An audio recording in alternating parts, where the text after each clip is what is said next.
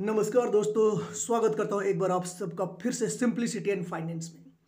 आज की इस वीडियो में हम ये जानेंगे कि आपको जो सेटलमेंट ऑफ़र किया गया है, वो कहीं फेक सेटलमेंट तो नहीं है। मुझे नहीं पता आपको मालूम है या नहीं, लेकिन अप टू 90 परसेंट केसेस में, जो कि बहुत बड़ा फिगर है, अगर आप सौभाग्यशाली हैं तो बात अलग है, अगर आप टेन परसेंट में से हैं तो। Otherwise up to 90 percent cases में फेक सेटलमेंट होने लग गए हैं। क्या बैंक फेक सेटलमेंट करता है? क्या credit card company fake settlement करती है?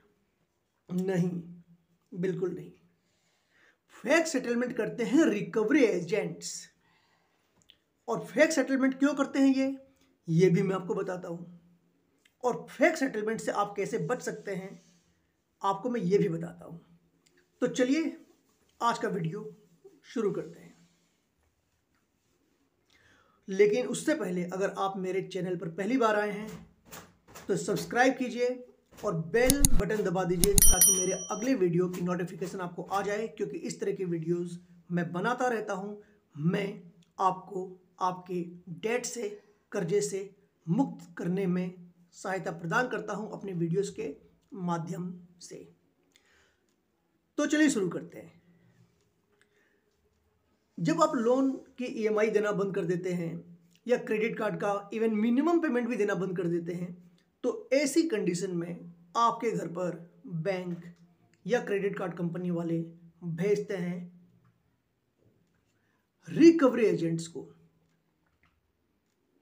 जिनका काम ये होता है, सुबह उठो, दूसरे के घर जाकर भोंको, फिर वहाँ से जाकर किसी और के घर पर भोंको और भोंक भोंक कर, भोंक भोंक कर लोगों का दिन खराब करो। इनका दिन खराब नहीं होता है। इनका बिल्कुल दिन खराब नहीं होता है क्योंकि इनको ट्रेन ही किया जाता भोंकने के लिए। देखिए, बाहर भी एक भोंकने वाले कुत्ते की आवाज़ आई अभी। ज़्यादा फ़र्क नहीं दोनों में। तो ये आकर आपका दिमाग करते हैं, खराब। अब होता क्या है? आप बोलते हैं कि भाई मेरे पास पेमेंट अभी है नहीं, मैं क्या करूँ? तो ये बोलते हैं, ठीक आप सेटलमेंट करवा लो। कभी कभी तो आपको महीने भर में आकर बोलते सेटलमेंट करवा लो। आप ही सोचते वाह, चमत्कार हो गया सेटलमेंट कितने में? सर, आप ट्वेंटी परसेंट में सेटलमेंट करवा लो। आप बोलते वाह, चमत्कार चमत्कार, आप तो मेरे लिए भगवान बनकर आए हैं। एक लाख रुपए का सिर्फ़ बीस हज़ार रुपये में सेटलमेंट सर, करवा लो, अभी करवा लो, नहीं तो बाद में फिर ये बढ़ जाएगा, मुझे आप बोलना मत। मेरे पास इतना ही पावर है। अगर आप नहीं करते हो आज की डेट में तो ये हो जाएगा और वो हो जाएगा। आप बोलेगे, ठीक है भाई, उधार लोगे, इससे लोगे, उससे लोगे। आप बोलेगे, भाई, कर दो सेटलमेंट ये आपको एक सेटलमेंट लेटर भी देंगे। और कुछ इस तरीके से बात करेंगे कि वो बहुत ही कन्विंसिंग हो। सेटलमेंट आपको लेटर लेटर आपको देंगे। आप खुश हो जाओगे, आप सेटलमेंट कर दोगे। उसके बाद क्या होगा? वो पैसा आपके लोन अकाउंट में चला जाएगा। यहाँ तक भी होगा। और उसके बाद ये इंसान उसमें से अपना कमीशन लेकर बीस हज़ार में से जो भी इनका कमीशन है फिफ्टी परसेंट है फोर्टी परसेंट है, जो भी इनका कमीशन बनता है, लेकर चला जाएगा। और फिर से बैंक वाले क्रेडिट कार्ड वाले आपके पीछे नहीं कुत्तों को फिर से छोड़ देंगे। फिर कोई दूसरा कुत्ता आकर भोंकेगा। तो ये जो सेटलमेंट है और ये जो सेटलमेंट लेटर आपको दिया गया है, ये पूरी तरीके से फेक है। दो सेटलमेंट अगर आपके पास आता आपको सेटलमेंट ही करवाना है अगर आपके पास पैसे नहीं है तो। है तो देकर मारिए इनके मुँह के ऊपर। और अगर नहीं है तो आपको सेटलमेंट ही करवाना है, लेकिन फेक सेटलमेंट नहीं करवाना है। तो फेक सेटलमेंट लेटर ये नहीं है, इसका हम कैसे पता करेंगे? देखिए, पहले तो बात यह है कि रिकवरी एजेंट के पास पावर नहीं है सेटलमेंट लेटर इशू करने का। एक चीज़। दूसरी चीज़ अगर रिकवरी एजेंट को या किसी भी बैंक एग्जीक्यूटिव को आप ये कहते हैं कि भाई मुझे सेटलमेंट करवाना है तो वो इमीडिएट आपको सेटलमेंट लेटर नहीं दे सकता है। उसे एक रिक्वेस्ट भेजनी पड़ेगी ऊपर। वहाँ से अप्रूवल आएगा। अगर अप्रूवल आया है तो उसके बाद आपके पास एक सेटलमेंट लेटर आएगा। बेहतर है कि सेटलमेंट लेटर आप अपने घर के एड्रेस पर हार्ड कॉपी मंगवाएँ, जिसमें पूरे बैंक की सील सिग्नेचर सब कुछ हो। आप ऑफ़, ऑनलाइन भी मंगवा सकते हैं, ऐसी कोई बात नहीं है लेकिन उसको वेरीफाई करने का मैं दूसरा तरीका आपको बता देता हूँ।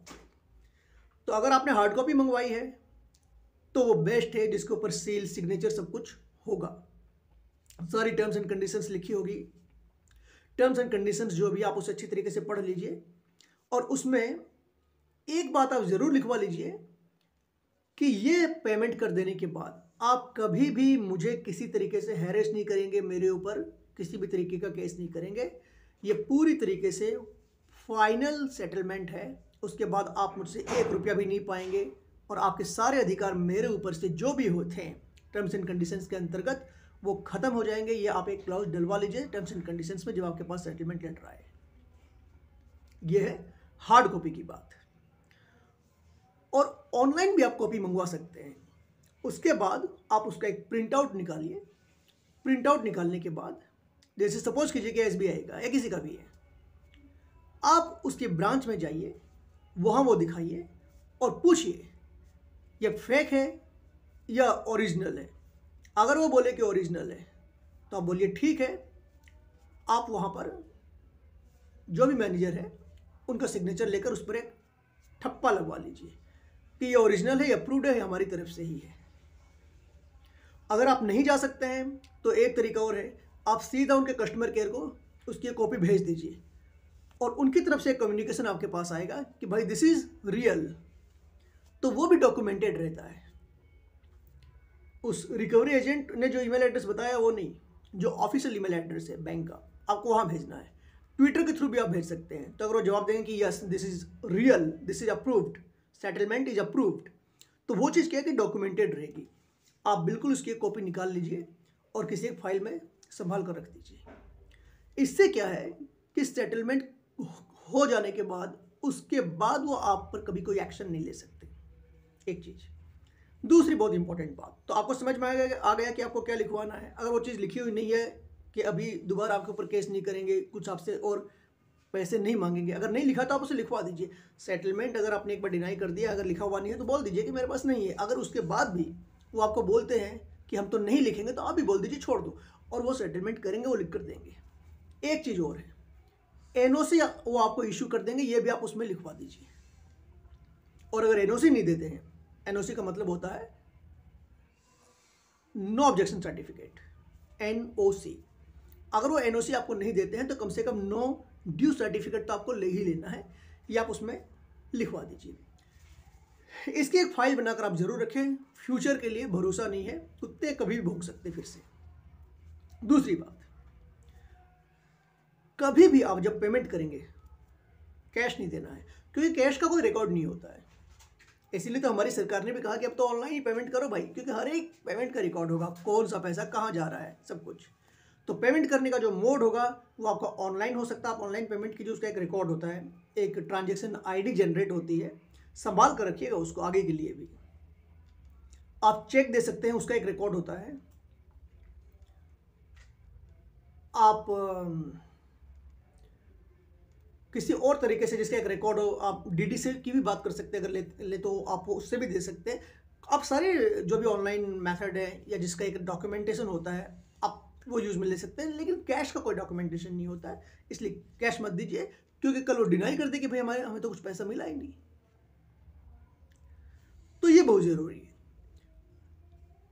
तो अब आपको ये समझ में आ गया कि फैक्ट सेटलमेंट कौन करता है।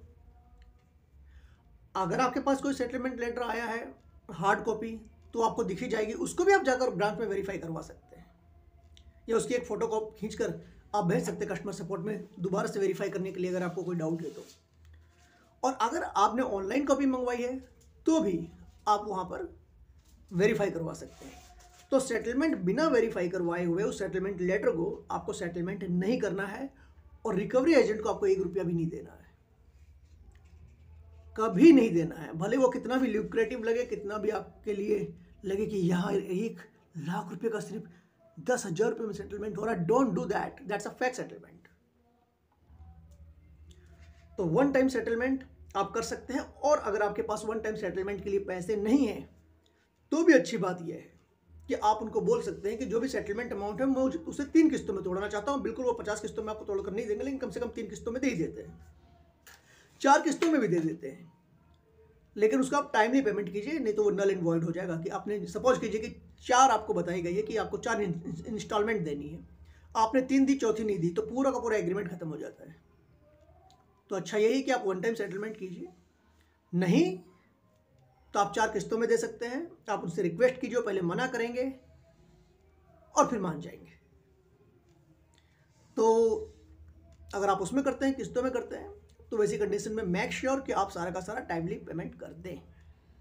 और उसके बाद जाकर एनओसी या नो ड्यू सर्टिफिकेट आप उनसे इशू करवा लें। उम्मीद करता हूँ अब आप फेक सेटलमेंट में नहीं फंसेंगे, सही सेटलमेंट करवाएँगे। पैसा है तो मारिए इनके मुँह पर। नहीं है सेटलमेंट ही अगर एक, इकलौता रास्ता आपके लिए तो आप उस पर चलिए। कोई लोन कभी मिलेगा नहीं, ज़िंदगी में कोई कभी लोन लेना भी नहीं है। उम्मीद करता हूँ, आज की इस वीडियो से अब आपको समझ में आ गया होगा कि सेटलमेंट कैसे करना है।